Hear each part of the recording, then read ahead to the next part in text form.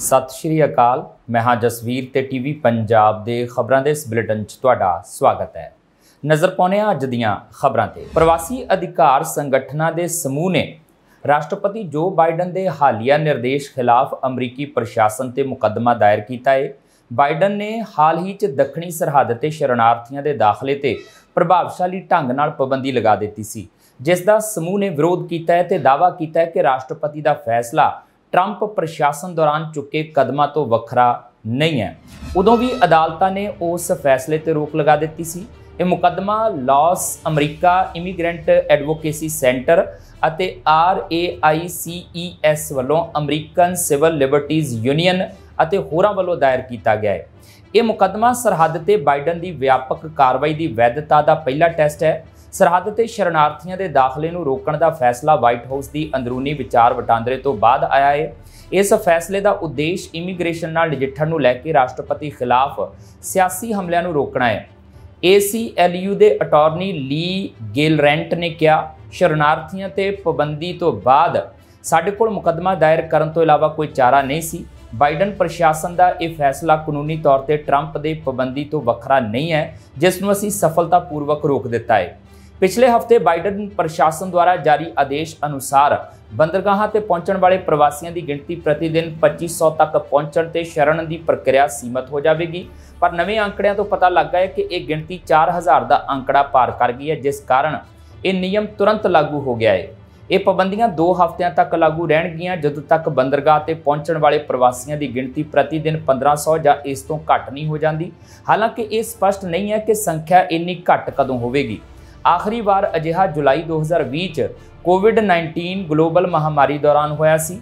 Biden ਪ੍ਰਸ਼ਾਸਨ ਦੇ ਅਧਿਕਾਰੀਆਂ ਨੇ ਦੱਸਿਆ ਕਿ ਇਹ ਹੁਕਮ 5 ਜੂਨ ਤੋਂ ਲਾਗੂ ਹੋ ਗਿਆ ਹੈ। ਅਮਰੀਕਾ ਨੇ ਰੂਸ ਤੇ ਲਗਾਈਆਂ ਪਾਬੰਦੀਆਂ ਦਾ ਦਾਇਰਾ ਵਧਾਉਂਦੇ ਹੋਏ 300 ਤੋਂ ਵੱਧ ਨਵੀਆਂ ਪਾਬੰਦੀਆਂ ਲਗਾ ਦਿੱਤੀਆਂ ਨੇ ਜਿਨ੍ਹਾਂ ਦਾ ਮੁੱਖ ਉਦੇਸ਼ ਚੀਨ, ਸੰਯੁਕਤ ਅਰਬ ਅਮੀਰਾਤ ਅਤੇ ਤੁਰਕੀ ਸਮੇਤ ਵੱਖ-ਵੱਖ ਦੇਸ਼ਾਂ ਦੇ ਵਿਅਕਤੀਆਂ ਅਤੇ ਕੰਪਨੀਆਂ ਨੂੰ ਰੂਸ ਦੀ ਮਦਦ ਕਰਨ ਤੋਂ ਰੋਕਣਾ ਹੈ। ਅਮਰੀਕਾ ਦਾ ਇਹ ਕਦਮ ਇਟਲੀ 'ਚ G7 ਸੰਮੇਲਨ ਤੋਂ ਪਹਿਲਾਂ ਚੁੱਕਿਆ ਗਿਆ, ਆਇਆ ਹੈ ਜਿੱਥੇ ਯੂਕਰੇਨ ਲਈ ਸਮਰਥਨ ਵਧਾਉਣ ਅਤੇ ਰੂਸ ਦੀ ਜੰਗੀ ਮਸ਼ੀਨਰੀ ਨੂੰ ਖਤਮ ਕਰਨਾ ਪ੍ਰਮੁੱਖ ਤਰਜੀਹਾਂ ਹੋਵੇਗੀ। ਬੁੱਧਵਾਰ ਨੂੰ ਲਗਾਈਆਂ ਗਈਆਂ ਪਾਬੰਦੀਆਂ 'ਚ ਚੀਨੀ ਕੰਪਨੀਆਂ ਨੂੰ ਨਿਸ਼ਾਨਾ ਬਣਾਇਆ ਗਿਆ ਹੈ, ਜੋ ਯੁੱਧ ਵਿੱਚ ਰੂਸ ਦੀ ਮਦਦ ਕਰ ਰਹੀਆਂ ਨੇ। ਅਮਰੀਕਾ ਯੁੱਧ ਸ਼ੁਰੂ ਹੋਣ ਦੇ ਬਾਅਦ ਤੋਂ 4000 ਰੂਸੀ ਕੰਪਨੀਆਂ ਤੇ ਵਿਅਕਤੀਆਂ ਤੇ ਪਾਬੰਦੀਆਂ ਲਗਾ ਚੁੱਕਾ ਹੈ, ਜਿਸ ਦਾ ਮਕਸਦ ਰੂਪ ਤੋਂ ਮਿਲਣ ਵਾਲੇ ਧਨ ਅਤੇ ਹਥਿਆਰਾਂ ਤੇ ਰੋਕ ਲਗਾਉਣਾ ਹੈ। ਵਿਦੇਸ਼ ਵਿਭਾਗ ਦੇ ਆਰਥਿਕ ਪਾਬੰਦੀਆਂ ਦੀ ਨੀਤੀ ਅਤੇ ਲਾਗੂ ਕਰਨ ਦੇ ਸਟੇਟ ਡਿਪਾਰਟਮੈਂਟ ਦੇ ਡਾਇਰੈਕਟਰ ਨੇ ਐਸੋਸੀਏਟਿਡ ਪ੍ਰੈਸ ਨੂੰ ਦੱਸਿਆ ਕਿ ਪੁਤਿਨ ਇੱਕ ਬਹੁਤ ਹੀ ਸਮਰੱਥ ਵਿਰੋਧੀ ਹੈ, ਜੋ ਸਹਿਯੋਗੀ ਲੱਭਣ ਲਈ ਤਿਆਰ ਹੈ। ਉਹਨਾਂ ਨੇ ਕਿਹਾ ਕਿ ਰੂਸ ਵਿਰੁੱਧ ਪਾਬੰਦੀਆਂ ਨਿਰੰਤਰ ਚੱਲਣ ਵਾਲੀ ਇੱਕ ਪ੍ਰਕਿਰਿਆ ਹੈ। ਬੁੱਧਵਾਰ ਨੂੰ ਲਗਾਈਆਂ ਗਈਆਂ ਪਾਬੰਦੀਆਂ 'ਚ ਰੂਸ ਅਤੇ ਉਸ ਦੇ ਯੁੱਧ ਸਪਲਾਇਰਾਂ ਵਿਚਕਾਰ 10 ਕਰੋੜ ਅਮਰੀਕੀ ਡਾਲਰ ਤੋਂ ਵੱਧ ਦੇ ਵਪਾਰ ਨੂੰ ਨਿਸ਼ਾਨਾ ਬਣਾਇਆ ਗਿਆ ਹੈ ਇਹਨਾਂ 300 ਤੋਂ ਵੱਧ ਨਵੀਆਂ ਪਾਬੰਦੀਆਂ ਦਾ ਮੁੱਖ ਉਦੇਸ਼ ਚੀਨ, ਸੰਯੁਕਤ ਅਰਬ ਅਮੀਰਾਤ ਅਤੇ ਤੁਰਕੀ ਸਮੇਤ ਵੱਖ-ਵੱਖ ਦੇਸ਼ਾਂ ਦੇ ਵਿਅਕਤੀਆਂ ਅਤੇ ਕੰਪਨੀਆਂ ਨੂੰ ਰੂਸ ਦੀ ਮਦਦ ਕਰਨ ਤੋਂ ਰੋਕਣਾ ਹੈ T20 ਵਰਲਡ ਕੱਪ ਟੂਰਨਾਮੈਂਟ ਦੀ ਗਰੁੱਪ ਸਟੇਜ 'ਚ ਭਾਰਤ ਨੇ ਅਮਰੀਕਾ ਨੂੰ 7 ਵਿਕਟਾਂ ਨਾਲ ਸ਼ਿਕਸਤ ਦੇ ਕੇ ਲਗਾਤਾਰ ਤੀਜੀ ਜਿੱਤ ਦਰਜ ਕੀਤੀ। ਰੋਹਿਤ ਸ਼ਰਮਾ ਨੇ ਟਾਸ ਜਿੱਤ ਕੇ ਪਹਿਲਾਂ ਗੇਂਦਬਾਜ਼ੀ ਦੀ ਚੋਣ ਕੀਤੀ। ਅਮਰੀਕਾ ਨੇ ਭਾਰਤ ਨੂੰ 111 ਦੌੜਾਂ ਦਾ ਟੀਚਾ ਦਿੱਤਾ ਸੀ। ਭਾਰਤ ਦੀ ਇਸ ਜਿੱਤ ਦੇ ਹੀਰੋ ਰਹੇ ਅਰਸ਼ਦੀਪ ਸਿੰਘ, ਜਿਨ੍ਹਾਂ ਦਾ ਯੋਗਦਾਨ ਅਹਿਮ ਰਿਹਾ। ਉਹਨਾਂ ਨੇ 9 ਦੌੜਾਂ ਵਿੱਚ ਅਮਰੀਕਾ ਦੇ 4 ਖਿਡਾਰੀਆਂ ਨੂੰ ਮੈਦਾਨ ਤੋਂ ਰੁਖਸਤ ਕੀਤਾ। ਇਸ ਦੇ ਨਾਲ ਹੀ ਸੂਰਿਆ ਕੁਮਾਰ ਦੀ ਪਾਰੀ ਵੀ ਸ਼ਾਨਦਾਰ ਰਹੀ। ਇਸ ਪਾਰੀ 'ਚ ਸੂਰਿਆ ਦਾ ਸਾਥ ਦਿੱਤਾ ਸ਼ਿਵਨ ਦੁਬੇ ਨੇ, ਜੋ ਪਹਿਲੀ ਵਾਰ T20 ਵਿਸ਼ਵ ਕੱਪ ਦਾ ਹਿੱਸਾ ਬਣੇ ਨੇ। ਹਾਲਾਂਕਿ ਭਾਰਤ ਲਈ ਇਹ ਜਿੱਤ ਸੌਖੀ ਨਹੀਂ ਸੀ।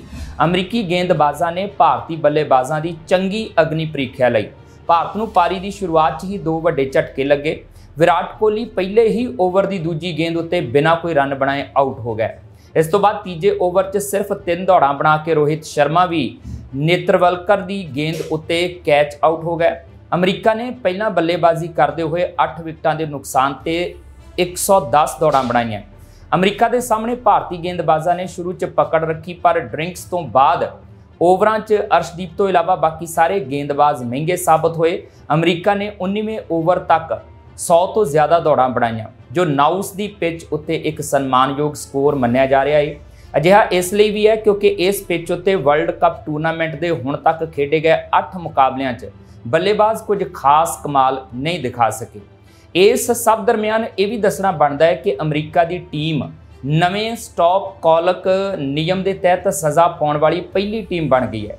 ਇਹ ਨਿਯਮ T20 ਕੌਮਾਂਤਰੀ ਮੈਚਾਂ ਦੀ ਗਤੀ ਨੂੰ ਬਰਕਰਾਰ ਰੱਖਣ ਲਈ ਪਹਿਲੀ ਜੂਨ ਤੋਂ ਲਾਗੂ ਕੀਤਾ ਗਿਆ ਹੈ। ਨਿਯਮ ਕਹਿੰਦਾ ਹੈ ਕਿ ਘੜੀ ਦੀ ਵਰਤੋਂ ਓਵਰਾਂ ਵਿਚਲੇ ਸਮੇਂ ਨੂੰ ਨਿਯਮਤ ਰੱਖਣ ਲਈ ਕੀਤੀ ਜਾਵੇਗੀ। ਜਦੋਂ ਗੇਂਦਬਾਜ਼ੀ ਕਰਨ ਵਾਲੀ ਟੀਮ ਇੱਕ ਓਵਰ ਖਤਮ ਹੋਣ ਤੋਂ 60 ਸਕਿੰਟਾਂ ਦੇ ਅੰਦਰ ਦੂਜਾ ਓਵਰ ਕਰਨ ਲਈ ਤਿਆਰ ਨਹੀਂ ਹੁੰਦੀ ਹੈ। ਜੇ ਅਜਿਹਾ ਇੱਕ ਪਾਰੀ ਦੌਰਾਨ ਤਿੰਨ ਵਾਰ ਹੁੰਦਾ ਹੈ, ਤਾਂ ਉਸ ਉੱਤੇ ਪੰਜ ਦੌੜਾਂ ਦੀ ਪੈਨਲਟੀ ਲਾਈ ਜਾਵੇਗੀ। ਅਮਰੀਕਾ 'ਚ ਡਾਕਟਰਾਂ ਨੇ ਇੱਕ ਔਰਤ ਦੀ ਜਾਨ ਬਚਾਈ ਹੈ। ਅਸਲ 'ਚ ਦੂਜੇ ਵਿਸ਼ਵ ਯੁੱਧ ਅਤੇ ਕੋਰੀਆਈ ਯੁੱਧ 'ਚ ਯੋਗਦਾਨ ਪਾਉਣ ਵਾਲੇ 98 ਸਾਲਾ ਔਰਵਿਲ ਐਲਨ ਦੀ ਮੌਤ ਤੋਂ ਬਾਅਦ ਉਹਨਾਂ ਦੇ ਜਿਗਰ ਨਾਲ ਇੱਕ ਬਜ਼ੁਰਗ ਔਰਤ ਨੂੰ ਨਵੀਂ ਜ਼ਿੰਦਗੀ ਮਿਲੀ ਹੈ। ਦੱਖਣ ਪੂਰਬੀ ਮੈਸੂਰੀ ਦੇ ਦਿਹਾਤੀ ਖੇਤਰ 'ਚ ਬਤੌਰ ਅਧਿਆਪਕ ਵਜੋਂ ਸੇਵਾਵਾਂ ਦੇਣ ਵਾਲੇ ਐਲਨ ਕੋਈ ਵੀ ਅੰਗ ਦਾਨ ਕਰਨ ਵਾਲੇ ਸੰਯੁਕਤ ਰਾਜ ਦੇ ਸਭ ਤੋਂ ਬਜ਼ੁਰਗ ਵਿਅਕਤੀ ਬਣ ਗਏ। ਇਹ ਜਾਣਕਾਰੀ ਅੰਗ ਟ੍ਰਾਂਸਪਲਾਂਟੇਸ਼ਨ ਨਾਲ ਸੰਬੰਧਿਤ ਸੰਸਥਾ ਮਿਡ ਅਮਰੀਕਾ ਟ੍ਰਾਂਸਪਲਾਂਟ ਨੇ ਦਿੱਤੀ। ਸੰਸਥਾ ਮੁਤਾਬਕ ਐਲਨ ਦੀ ਮੌਤ 29 ਮਈ ਨੂੰ ਹੋਈ ਸੀ ਤੇ ਉਸ ਦਾ ਲਿਵਰ 72 ਸਾਲਾ ਔਰਤ ਦੇ ਸਰੀਰ 'ਚ ਸਫਲਤਾਪੂਰਵਕ ਟ੍ਰਾਂਸਪਲਾਂਟ ਕੀਤਾ ਗਿਆ ਸੀ।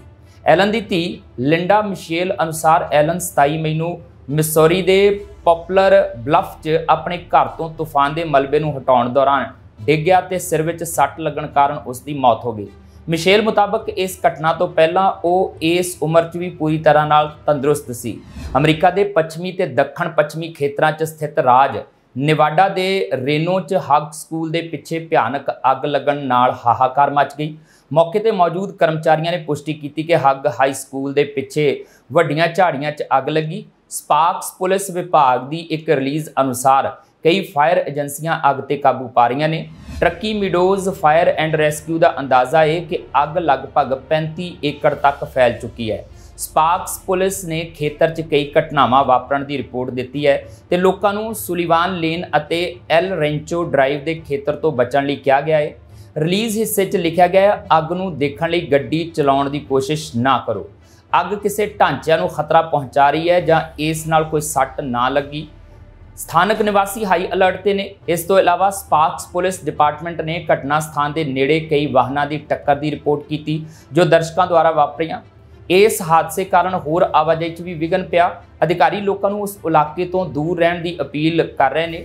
ਅੰਦਾਜ਼ਾ ਲਗਾਇਆ ਜਾ ਰਿਹਾ ਕਿ ਅੱਗ ਕਾਰਨ ਹੁਣ ਤੱਕ 35 ਏਕੜ ਰਕਬਾ ਸੜ ਚੁੱਕਾ ਹੈ। ਇਜ਼ਰਾਈਲ ਨੇ ਹਮਾਸ ਦੇ ਨਵੇਂ ਪ੍ਰਸਤਾਵ ਨੂੰ ਠੁਕਰਾ ਦਿੱਤਾ ਹੈ। ਜਿਸ ਤੋਂ ਬਾਅਦ ਦੋਨਾਂ ਪੱਖਾਂ ਦੇ ਵਿੱਚ ਦੋਸ਼ ਲਾਉਣ ਦੀ ਸ਼ੁਰੂਆਤ ਹੋ ਚੁੱਕੀ ਹੈ। ਇਸ ਦੇ ਨਾਲ ਹੀ ਗਾਜ਼ਾ ਦੇ ਕੈਦੀਆਂ ਨੂੰ ਰਿਹਾ ਕਰਨ ਦੇ ਸਮਝੌਤੇ ਤੇ ਵੀ ਤਲਵਾਰ ਲਟਕ ਗਈ ਹੈ। ਪ੍ਰਸਤਾਵ 'ਚ ਗਾਜ਼ਾ 'ਚ ਜੰਗਬੰਦੀ ਦੇ ਨਾਲ-ਨਾਲ ਗਾਜ਼ਾ ਤੋਂ ਇਜ਼ਰਾਈਲੀ ਫੌਜਾਂ ਦੀ ਪੂਰੀ ਤਰ੍ਹਾਂ ਵਾਪਸੀ ਸ਼ਾਮਲ ਸੀ। ਸੂਤਰਾਂ ਨੇ ਕਿਹਾ ਹੈ ਕਿ ਅਮਰੀਕਾ ਦੇ ਤਾਲਮੇਲ 'ਚ ਕਤਰ ਅਤੇ ਮਿਸਰ ਦੇ ਸਮਝੌਤੇ ਦੀ ਗੱਲਬਾਤ ਜਾਰੀ ਰਹਿਣ ਦੀ ਉਮੀਦ ਹੈ, ਜਿਸ ਨਾਲ ਇਸ ਮਸਲੇ ਦੇ ਹੱਲ ਦੀ ਉਮੀਦ ਅਜੇ ਵੀ ਬਾਕੀ ਹੈ। ਹਮਾਸ ਦੇ ਬੁਲਾਰੇ ਉਸਾਮਾ ਹਮਦਾਨ ਨੇ ਮੰਗਲਵਾਰ ਨੂੰ ਆਪਣਾ ਜਵਾਬ ਦਾਇਰ ਕਰਦੇ ਹੋਏ ਲੈਬਨਾਨੀ ਮੀਡੀਆ ਨਾਲ ਗੱਲਬਾਤ ਕੀਤੀ।